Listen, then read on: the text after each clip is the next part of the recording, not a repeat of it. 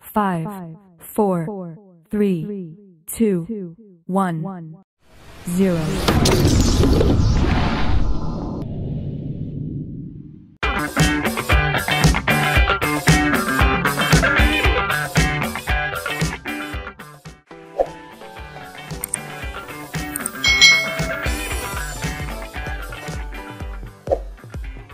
Hai hai hai Selamat datang di channel youtube Kak Citra. Apa kabar nih adik-adik semuanya? Kak Citra berharap kalian dalam keadaan yang baik, sehat, dan siap untuk belajar. Hari ini kita akan belajar di tema 1 Diriku.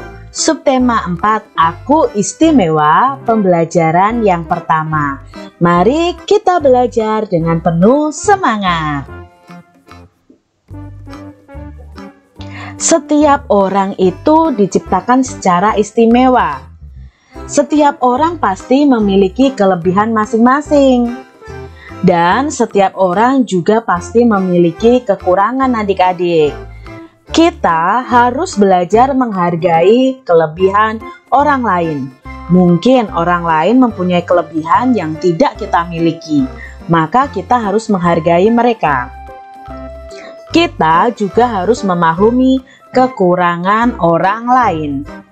Kelebihan dan kekurangan adalah karunia dari Tuhan, makanya kita harus menghargai. mensyukuri perbedaan. Lihatlah gambar Udin dan teman-temannya adik-adik. Apakah mereka semua sama? Tidak, mereka itu berbeda. Mereka berbeda secara fisik.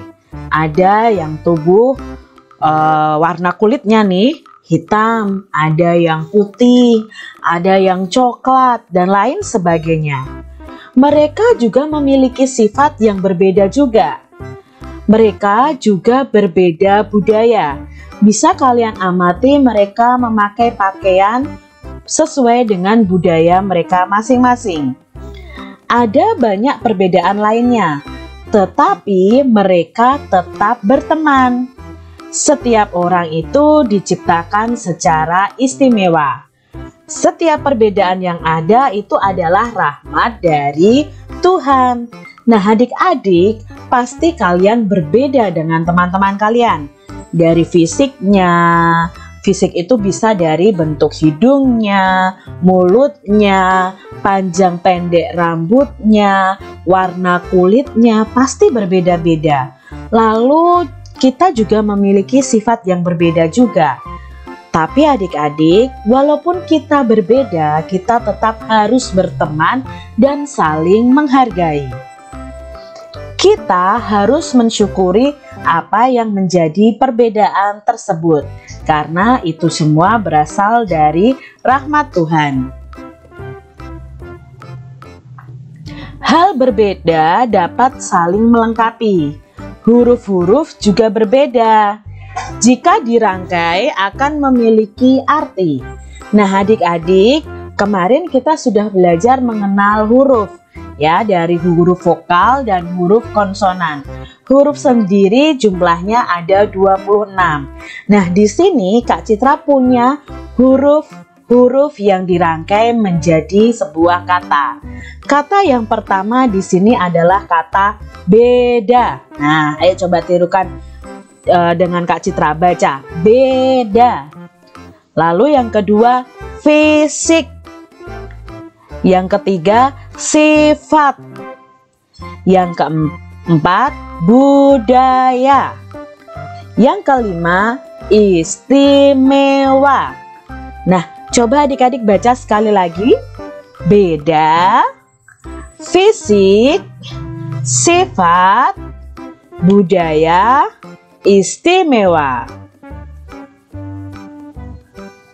Dapatkah kamu menemukan huruf A, I, U, dan E. Nah, di sini apakah kalian bisa menemukan?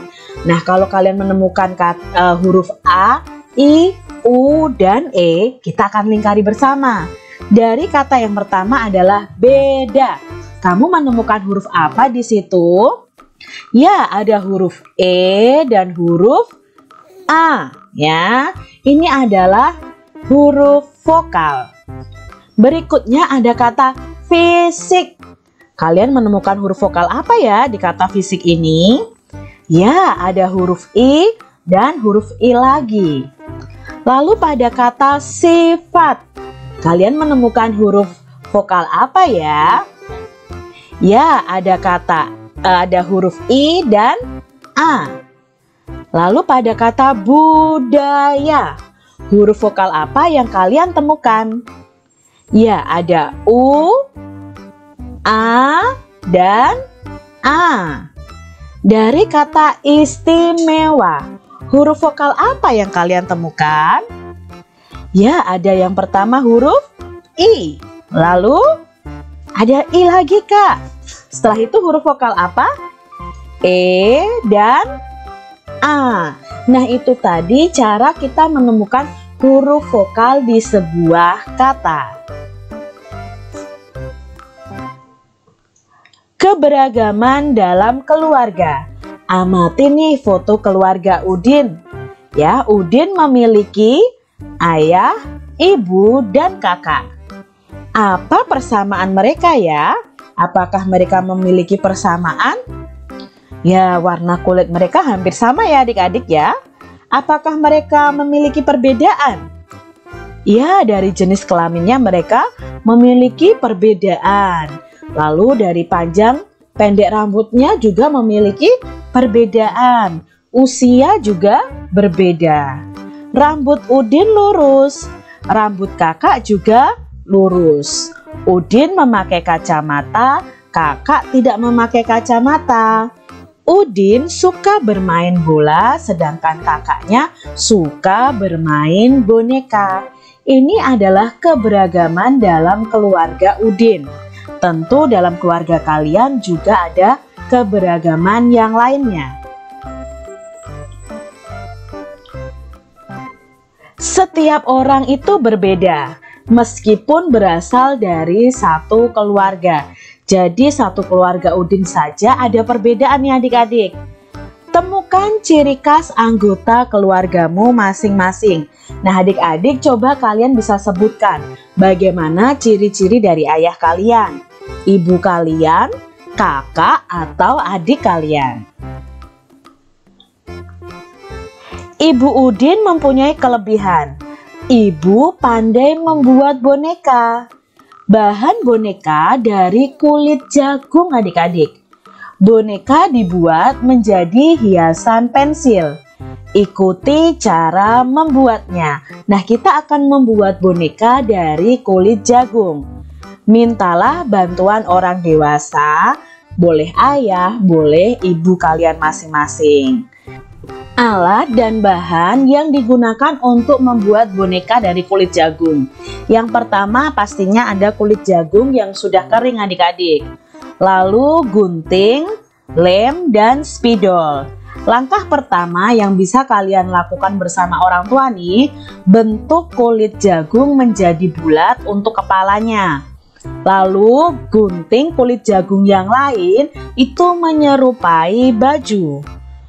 Rekatkan bagian kepala dan baju lalu pasang pada pensil kalian.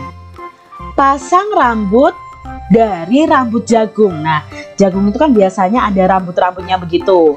Itu bisa untuk rambut dari bonekanya. Lalu gambar wajah memakai spidol.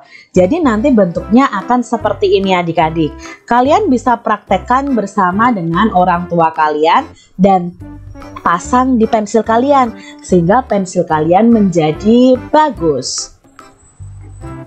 Demikian tadi adik-adik pembahasan kita di tema 1, subtema 4, pembelajaran 1. Ingat ya adik-adik, kalian semua diciptakan istimewa walaupun kalian berbeda-beda.